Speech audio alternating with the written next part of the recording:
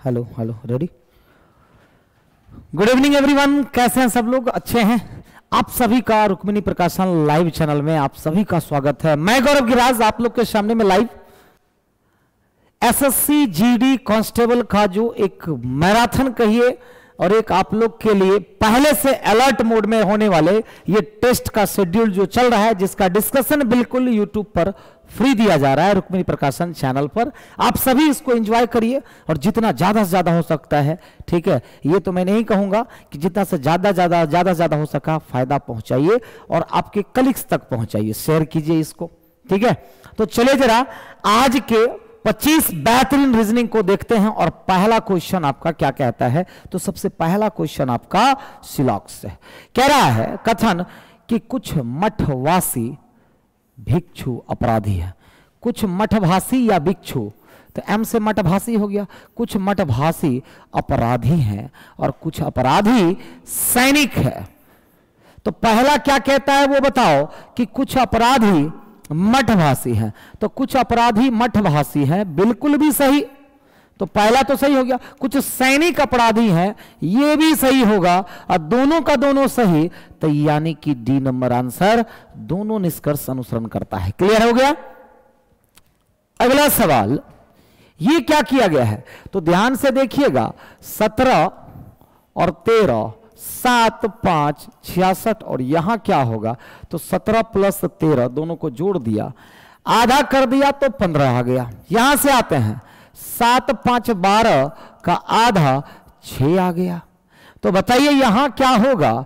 छियासठ में क्या जोड़ें कि आधा करने पर इक्यावन आ जाए? तो इक्यावन आ जाए। तो बताइए इक्यावन दूना एक सौ दो, छियासठ से चौंतीस और दो छत्तीस। तो बताइए छत्तीस आपका आंसर डी हो जाएगा। अगर हम क्वेश्चन मार्क की जगह पर अगर छत्तीस रखते हैं तो आपका आंसर आ जाएगा, है ना? चलो फिर, अगले प्रश्न की तरफ़। देखो एम से के माइनस दो हुआ माइनस दो माइनस दो मतलब पहले में माइनस दो माइनस दो माइनस दो की सीरीज़ चल रही है। आठ दो दस, दो बारह बारह दो चौदह, दो सोलह। और यहाँ पर ई हो जाएगा ई पी फिर उसके बाद प्लस दो प्लस दो प्लस दो की सीरीज़ चल रही है। फिर देखो, माइनस दो माइनस दो माइनस दो माइनस दो मतलब ओ ई पी ओ आपका ऑप्शन ए फिर माइनस दो माइनस दो माइनस दो, ये सीरीज़ है आपका, है ना? क्लियर है? नेक्स्ट क्वेश्चन कह रहा, ऑस्ट्रिया, डेनमार्क और देश। तो देखो, देश के अंदर में ऑस्ट्रिया और डेनमार्क अलग अलग हो जाएगा और ऑप्शन से क्या हो जाएगा? सी नंबर ऑप्शन से क्या हो जाएगा? सी नंबर हो जाएगा। बताइए, कोई दिक्कत? क्लियर है? आगे बढ़े। चलिए फिर नेक्स्ट क्वेश्चन क्या दिए गए विकल्पों में से असंगत की पहचान करें तो मगरमच्छ अलग हो जाएगा। क्यों? क्योंकि ये क्या होता है? रेप्टाइल होते हैं। क्या होता है? ये रेप्टाइल होता है, और बाकी नहीं। क्लियर है? अगला सवाल। आठ दोस्त दोपहर के भोजन के लिए गोल मेज के चारों तरफ़ चार चार आठ लोग हो गए। पहला कह रहा है, ए एफ़ के सामने और बी के दाएँ। तीसरा, ए जो है एफ़ के सामने और ए के दाएँ। तीसरा है। तो ए एफ़ के सामने और बी के दाएँ। तीसरा है। हम ए लिख दिए हैं, उसको सुधार लेते हैं। तो ए एफ़ के सामने और बी के दाएँ। तीसरे जी एफ़ और डी के बीच में है। तो जी एफ़ और डी के बीच में है। जी एफ़ और डी के बीच में। एच डी के बाई ओर है। एच डी के बाई ओर है। ई सी और ए के बीच में है। तो ई जो है सी और ए के बीच में। सारे लोग बैठ गए। तो सी के बाएँ दूसरे स्थान पर कौन है? तो सी के बाएँ दूसरे स्थान पर एफ़ होगा। ऑप्शन से सी हो जाएगा। ऑप्शन से सी हो जाएगा। क्लियर है? अगला सवाल। अगर आप इसको नीचे से ऊपर की तरफ़ ऑप्शन देख लीजिए, नीचे से ऊपर की तरफ़ मोड़ते हैं तो बताइए डबल भी होगा कि नहीं? एक तो यहाँ से आपका ये हो जाएगा और एक ये हो जाएगा। हो जाएगा कि नहीं? और फिर ये जो पार्ट है, ये ऐसा बनेगा ऐसा बनेगा ऐसा बनेगा ऐसा बनेगा बनेगा। और फिर यहाँ से एम बनेगा। बनेगा कि नहीं? तो जरा बताइए डबल भी तो ये तो बनेगा ही बनेगा। डबल भी तो बनेगा। ए में नहीं है बी में नहीं है डी में है सी में नहीं है आंसर डी हो जाएगा। आंसर डी हो जाएगा। क्लियर है? अगला सवाल। पंद्रह का संबंध 270 से आखिर कैसे? तो पंद्रह का स्क्वायर प्लस पंद्रह गुना तीन। भैया, कितना हो गया? 225 प्लस 45 इज़ इक्वल टू 270 आ गया। तो हम भी क्या करेंगे? तो 13 का स्क्वायर करेंगे, और प्लस 13 गुना तीन करेंगे तो एक सौ उनहत्तर प्लस उनचालीस। तो बताइए, नौ नौ अठारह। छौती नौ एक, दस, एक एक दो। यानी कि 208 और ऑप्शन से डी नंबर हो जाएगा। कोई दिक्कत? अच्छा क्वेश्चन था ये, है ना? नेक्स्ट क्वेश्चन कह रहा, मेमना का संबंध उछलना से तो चूहा क्या करेगा? मेमना क्या होता है? उछलता है। हम चूहा उछलता है कि छलांग लगाता है, कि इठलाता है, दौड़ता है कि झूलता है तो दौड़ता है। चूहा दौड़ता है। ठीक है? अगला। सात है, आठ है, सोलह है तैतालीस है तो अगला क्या होगा? तो ध्यान देना, गैपिंग निकालो तो एक की गैपिंग गैपिंग निकालो तो आठ की, गैपिंग निकालो तो सताइस की, अगली गैपिंग पक्का चौसठ की होने वाली आप कहिए, क्यों सर? क्योंकि ये एक का क्यूब है, ये दो का क्यूब है, ये तीन का क्यूब है तो पक्का अगली बार चार का क्यूब चौसठ हो जाएगा। चला, जोड़िए तो 107 होगा कि नहीं होगा? तो बिल्कुल होगा।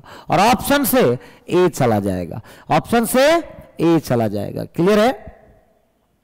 नेक्स्ट क्वेश्चन कह रहे किन दो चिन्हों के बदला जाए? तो देखो डिवाइड को हटाना ज़रूरी है। इसका मतलब सी और डी कभी हो ही नहीं सकता है। अब ये कह रहे डिवाइड को उठा के मल्टीप्लाई के जगह पर डाल दीजिए तो ये भी नहीं हो सकता है। पक्का आंसर बी होगा, क्योंकि डिवाइड को अगर यहाँ डाल देंगे तो ये तो कटेगा ही नहीं। और जब कटेगा ही नहीं तो फिर किस बात का आंसर भाई? तो आंसर तो दे नहीं पाएगा। दे पाएगा? नहीं। मतलब पक्का ये होगा। माइनस के जगह पर डिवाइड रखिए। देखो कट रहा है ना? हाँ, यहाँ पर माइनस रखिए। तो चौदह प्लस सोलह गुना इसका वैल्यू दो। तो सोलह गुना बत्तीस। माइनस तीन तैतालीस आ गया। तो बत्तीस और चौदह कितना हो जाएगा जी? छियालीस। माइनस तीन तैतालीस आ गया कि नहीं आ गया? तो बताओ बिना बनाए क्वेश्चन सॉल्व। रहे जे के एल एम एन ओ छह शिक्षक है। प्रत्येक शिक्षक हिंदी, अंग्रेज़ी, गणित, विज्ञान, सामाजिक विज्ञान और कला में से एक विषय पढ़ाते हैं। ज़रूरी नहीं कि इसी क्रम में पढ़ाते हो। प्रत्येक शिक्षक सोमवार से शनिवार तक। तो ये बताओ, ये सोमवार हो गया, ये मंगलवार हो गया, ये बुधवार हो गया, ये गुरुवार हो गया, ये शुक्रवार हो गया और ये शनिवार हो गया। छह दिन हो गए कि नहीं हो गए? इन छह दिनों में छह अलग अलग शिक्षकों के द्वारा छह अलग अलग विषयों की पढ़ाई की जाती है। इसको कहते हैं डे बेस्ड पजल। क्या कहते हैं? Day based puzzle. इसमें बेस किसको बनाना चाहिए? ध्यान रखिएगा आज के बाद। डेज़ को। किसको बेस बनाना चाहिए? डेज़ को बेस बनाना चाहिए, जैसे हमने बनाया। तो पहला लाइन क्या कह रहा है? जे शनिवार को कला पढ़ाते हैं तो चलो बोहनी अच्छी हुई है कन्फर्म लाइन से कि जे शनिवार को पढ़ाता है आ, क्या पढ़ाता है? कला पढ़ाता है। अगला लाइन क्या कहता है पढ़ा एल ना तो अंग्रेज़ी पढ़ाते हैं और ना ही सामाजिक विज्ञान पढ़ाते हैं लेकिन वह गुरुवार को पढ़ाते हैं। तो एल ना अंग्रेज़ी पढ़ाएगा ना सामाजिक विज्ञान लेकिन वो गुरुवार को पढ़ाता है तो एल यहाँ। लेकिन यहाँ पर लिख करके क्रॉस कर दीजिए कि अंग्रेज़ी यह नहीं पढ़ाएगा तो क्रॉस कर दीजिएगा तो ध्यान में रहेगा कि अंग्रेज़ी नहीं होगा। और ना ही यह सामाजिक विज्ञान पढ़ाता है, इसको भी क्रॉस कर दीजिए ताकि याद रहेगा कि यहाँ पर नहीं होगा। तो चलो भैया, अगला दिन पढ़ते हैं। बुधवार का दिन गणित के लिए आरक्षित है, जो के पढ़ाते हैं। तो बुधवार को के पढ़ाता है और इस दिन क्या? गणित आरक्षित है और कोई दूसरा विषय नहीं होगा। ओ एन से एक दिन पहले तो ओ जो है, एन से एक दिन पहले और कोई चांस है? नहीं है। तो ओ एन से पहले, एक दिन पहले विज्ञान पढ़ाता है तो ओ एन से एक दिन पहले क्या पढ़ाता है? विज्ञान पढ़ाता है। सामाजिक विज्ञान कला पढ़ाए जाने वाले दिन से एक दिन पहले तो सामाजिक कला विज्ञान से एक दिन पहले, यानी कि यहाँ पर सामाजिक विज्ञान हो जाएगा। अब बताइए, बच क्या गया? जे के एल एम बच गया है। कौन बच गया है? एम। विषय में बताओ, अंग्रेज़ी तो यहाँ होगा नहीं। क्लियर देख लो। अंग्रेज़ी यहाँ नहीं होगा। अरे भैया, कहीं तो होगा। तो अंग्रेज़ी कहाँ हो जाएगा? यहाँ हो जाएगा। अब एक विषय को ढूंढ लो जो नहीं हुआ है अभी तक। गणित हो चुका है ना? हाँ। समाज विज्ञान और कला। विज्ञान हो गया है क्या? विज्ञान हो गया है। हिंदी बच गया है। क्या बच गया है? हिंदी। मेन ही चीज़ बच गया। सवाल कह रहा है, एल कौन विषय पढ़ाता है क्या आप बता सकते हैं? तो एल कौन विषय पढ़ाता है? तो एल हिंदी पढ़ाता है, बिल्कुल बताया जा सकता है। ऑप्शन से बी। क्लियर है? स्क्रीनशॉट ले सकते हैं इसका। ऐसे ऐसे पजल करे तैयार रहना। क्योंकि पता है ना ग्रुप डी एनटीपीसी हर जगह आने लगा है। कोई गारंटी नहीं कि आप में नहीं आएगा। सभी तितलियाँ सरीसृप है। देखो, जितनी भी तितलियाँ, सारी की सारी क्या हो गई? सरीसृप हो गई। और सभी सरीसृप स्तन पाई है और सभी सरीसृप स्तन पाई है। पहला क्या कहता है कि सभी स्तनपाई तितलियाँ हैं। अब बताओ, सभी स्तनपाई तितलियाँ हैं तो नहीं कई बार बता चुका हूँ कि अगर आप रिवर्स में आते हो तो सभी गलत माना जाता है। सभी तितलियाँ स्तनपाई है तो सभी तितलियाँ स्तनपाई है तो यह बिल्कुल सही होगा, क्योंकि फॉरवर्डेड वे में कुछ भी सही होता है और सभी भी सही होता है, याद रखना है। तो केवल निष्कर्ष दो का मतलब आंसर से डी हो जाएगा। आंसर से डी हो जाएगा। क्लियर है? ओके अगला सवाल। एक निश्चित कोड भाषा में टच को अड़सठ लिखा जाता है। ये क्या क्या है ना? पहले अपोजिट वैल्यू का योग किया है। देख लो टी का अपोजिट जी मतलब सात ओ का अपोजिट एल मतलब बारह यू का अपोजिट एफ़ मतलब छ सी का अपोजिट एक्स मतलब चौबीस, और एच का अपोजिट उन्नीस। देखिए, बारह, सात, उन्नीस उन्नीस, अड़तीस। और चौबीस, छत्तीस, अड़तीस और तीस अड़सठ आ गया तो बताओ, हम भी वही काम कर दें तो आंसर आ जाएगा। तो क्या करना है? अपोजिट वैल्यू का योग। हम लोगों को भी करना है। तो ये बताओ ई का अपोजिट 22 आर का अपोजिट 9 आर का अपोजिट 9 ओ का अपोजिट 12 आर का अपोजिट 9 तो 22 और 12 कितना? 34 और 27 इकसठ। कितना? इकसठ आपका आंसर हो गया। ऑप्शन से बी। अपोजिट का क्या कर दिया गया? योग कर दिया गया। अपोजिट वैल्यू का योग। नेक्स्ट क्वेश्चन, सोलह।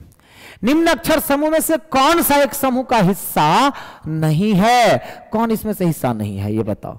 तीन प्लस छ छ दो आठ, प्लस दो, no no no no no no no. ये नहीं हुआ, ये नहीं हुआ। मतलब गैपिंग पे नहीं बना। देखो वॉबल सॉरी कॉन्सोनेंट वॉबल मतलब हर किसी में एक कॉन्सोनेंट है, एक वॉबल है। एक वॉबल कॉन्सोनेंट वॉबल कॉन्सोनेंट यहाँ दोनों कॉन्सोनेंट है तो ऑप्शन बी चला जाएगा। कितना हो जाएगा बी या, एक और लॉजिक अगर आप जोड़ लीजिए सबको तो यहाँ पर बारह आएगा। सात पाँच बारह हो जाएगा। नौ तीन बारह हो जाएगा। यहाँ चौदह हो गया। फिर भी भैया यही आंसर होगा। कितने लॉजिक लगा लो? आंसर एक ही आएगा। अगला देखो। तीन है, अठारह है, अड़तालीस है, तिरानवे है तो अगला टर्म क्या होगा? चलिए ढूंढते हैं। तीन से अठारह में प्लस पंद्रह किया गया। फिर प्लस तीस किया गया। फिर प्लस पैंतालीस किया गया। तो पंद्रह, तीस, पैंतालीस तो अगली बार पक्का साठ करना ही होगा। और आंसर एक सौ तिरपन। होना तय है और ऑप्शन से बी, एक सौ तिरपन। गैपिंग कितने का? पंद्रह, तीस, पैतालीस, फिर साठ। फिर अगला रहता तो पचहत्तर होता। है ना? अगला सवाल। एज्यूम को ए डबल एस यहाँ से उठा लास्ट में चला गया और यू एम ई उल्टा हो गया। तो एन डबल ई लास्ट में चला जाएगा।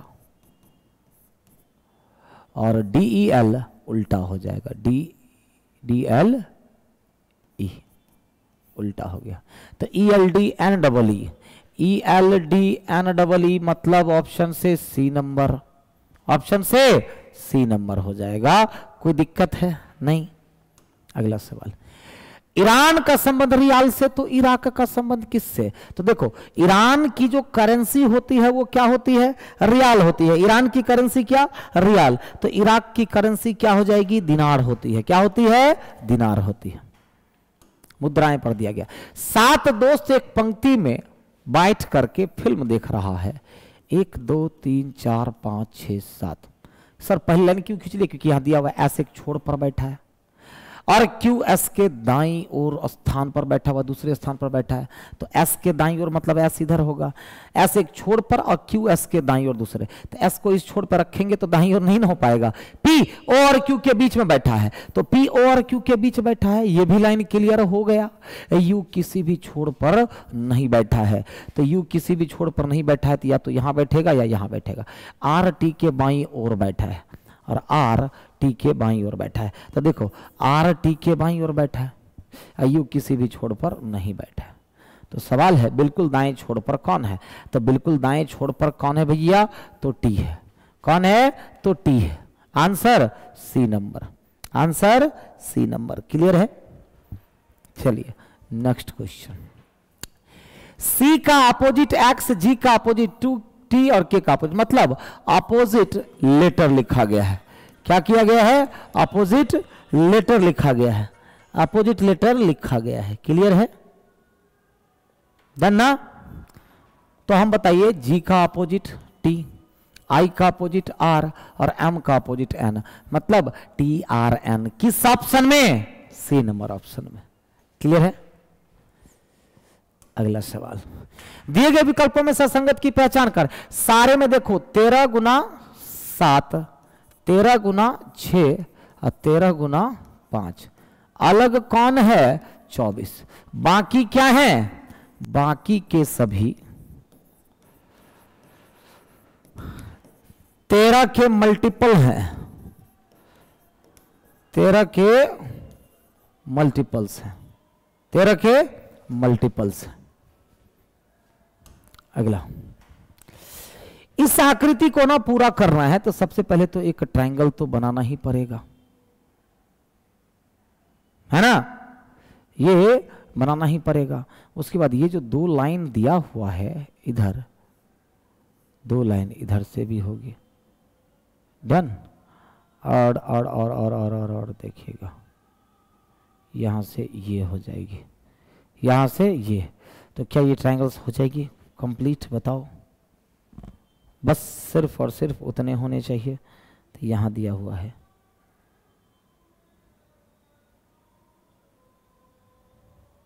और यहाँ से ये। ए नंबर फिगर होगा। एडजैक्ट फिगर क्या हो जाएगा? तो एडजैक्ट फिगर ए नंबर होगा। ए और सी दोनों में कंफ्यूजन हो गया है ना? यहाँ से यहाँ से। तीन लाइन कैसे हो जाएगा जी? अच्छा देखो, यही ना गड़बड़ है। इसकी थिकनेस को देखो, एक लाइन यहाँ से भी खींचा गया है, इसीलिए यहाँ से भी तीन लाइन होगा, तब सी हो जाएगा। क्या हो जाएगा? तब सी, क्योंकि देखो, पता नहीं चल रहा है वहाँ पर, ध्यान से देखो देखो, मैं मिटा देता हूँ, देखो। देख, इसकी थिकनेस देखो, ये कितना पतला है। ये देखो, यानी कि एक लाइन और है वहाँ पर, भले ही वो सट गया, वही मुझे लगा कि सी नंबर जाना चाहिए, लेकिन है नहीं। अच्छा ये आकृति किसमें दिख रही है? क्लियर? ए में दिख रही है। किसमें दिख रही है? ए में। किसमें ए में। अगला। रप्चर का दर्पण छवि से सर्वाधिक मेल खाता है। देखो सबसे पहले गलतियाँ ढूंढो। ई कभी भी सेम होता नहीं है। आर कभी भी सेम होता नहीं है। और और और और, और इसमें देख लो पी कभी भी उल्टा होगा नहीं। आ, आर सेम कर दिया है। कितनी गलतियाँ बताओ? तो आंसर क्या हो जाएगा? डी नंबर आंसर क्या हो जाएगा? डी। देखो, ये ई आपका यहाँ आ जाएगा, ये आर ऐसा बन जाएगा। यू तो बिल्कुल यू की तरह दिखता है, टी भी टी की तरह दिखता है। पी जो है सो वो बदल जाएगा, ठीक है? यू सेम दिखेगा और आर सेम दिखेगा। मतलब ये किसमें तो डी नंबर में। किसमें डी नंबर में। चलिए, अंतिम सवाल। ये 45 डिग्री घूमा, लेकिन एंटी क्लॉकवाइज फिर ये 45 डिग्री घूमा। फिर ये 45 डिग्री घूमा। फिर ये 45 डिग्री घूमेगा और ये ऐसा हो जाएगा। ऐसा बताओ, बी में नहीं, डी में नहीं, ए में है और सी में है, ए और सी में अब देखो, ये चीज़ें फिर anti clockwise anti clockwise anti clockwise anti clockwise कैसा हो जाएगा? इस तरह से, ठीक है? और ये हमेशा ऊपर होगा। तो ए नंबर। ये क्या कर दिया गया है? ये पार्ट नीचे दे दिया गया है, जो कि बिल्कुल गलत है। ठीक है? डन ना? तो चलिए फिर, ये भी सेट आपका कंप्लीट होता है। सभी बच्चों को गुड नाइट मिलते हैं फिर सेट नंबर छ में बहुत जल्द। ओके चलिए फिर।